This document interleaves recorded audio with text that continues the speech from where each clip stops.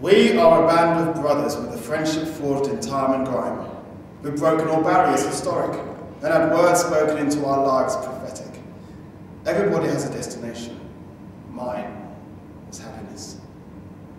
I found God while sitting on a throne of self-pity and anger. He said, Son, I'll take what you have if you don't mind. So then, he replaced it with happy.